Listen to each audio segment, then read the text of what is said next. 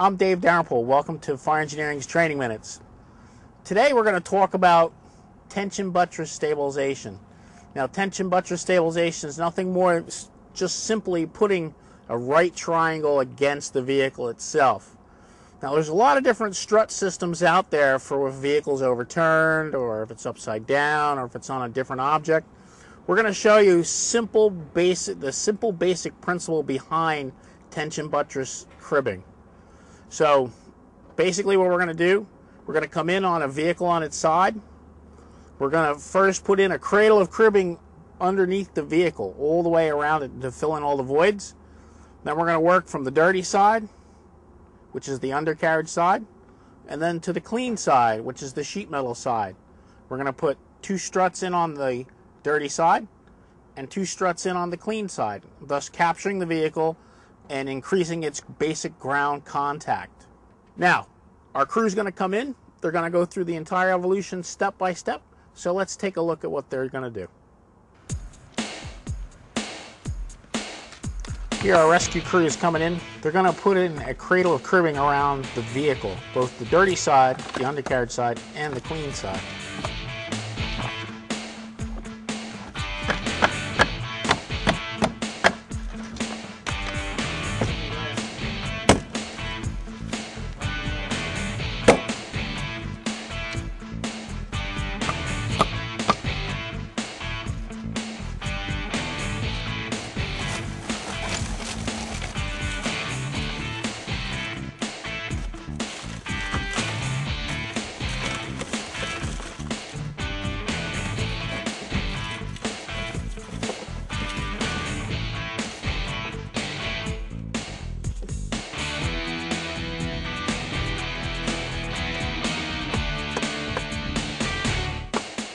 Now they're putting two struts in place.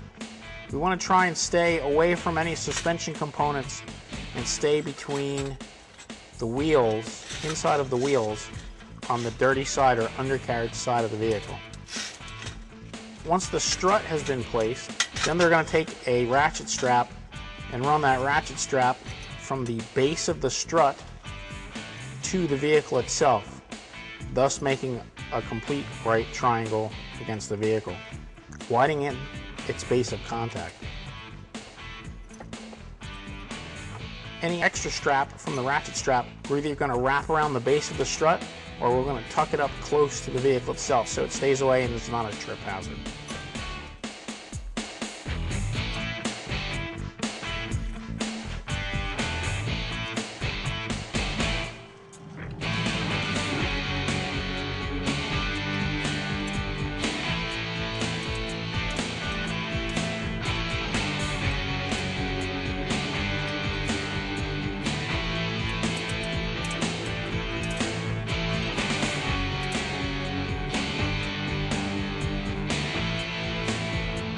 Now once the dirty side is secure, we're going to come over and work on the clean side. The reason why we work on the dirty side or undercarriage side first is many times we're going to have to make an opening or a purchase point on the clean side. Thus, we're going to either have to cut into the metal or widen the metal. If we do that, we're putting pressure against the other side of the vehicle.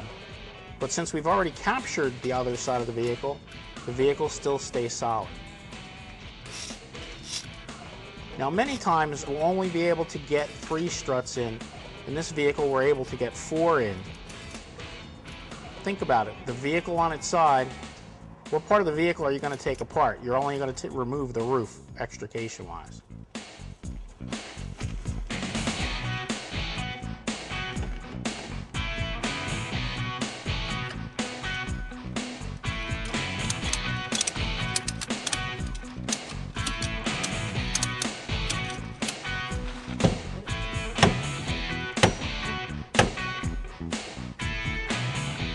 Here the crew is making a purchase point to hook the strap in the front.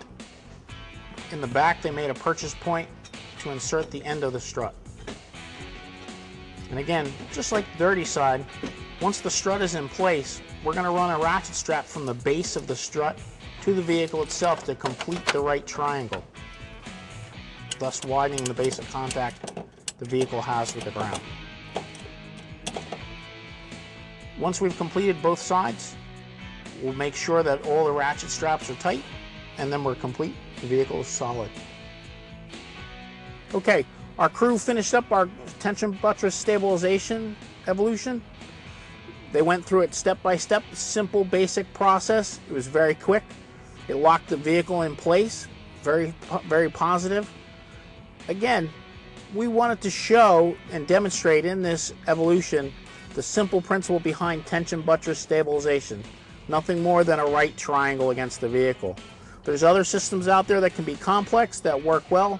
However, they all work behind this simple principle. I'd like to thank our sponsor, Holmatro, and I'd like to thank you for watching Training Minutes.